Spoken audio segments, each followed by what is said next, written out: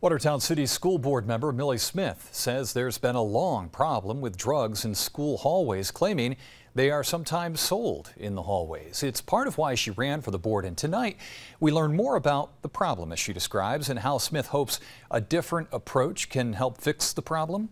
Here's Sandy Torres. The weed problem is atrocious. Watertown City School District Board member Millie Smith says for years marijuana and vaping have roamed the halls of Watertown High School and Case Middle School. You can smell it on the clothes, you can smell it in the hallways. Um, so we've had some stories of kids saying that, you know, they're doing transactions. Smith says there's a line of communication between students, which is making it easier for them to access drugs, and the transactions are being tracked down. Kids were saying that they have cryptic messaging on their Chromebooks. The school's in the process of collecting Chromebooks. Recently, the district installed vaping sensors to also help combat this drug issue. So what happens when a student is caught vaping or with weed?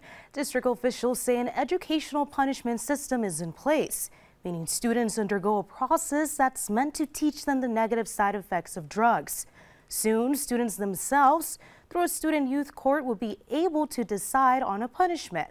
For instance, an essay on the side effects of vaping. Smith says besides the youth court, other measures the district is implementing is a partnership with drug prevention and education group Pivot to create a safer learning environment. As a school board, we're addressing this in a positive manner.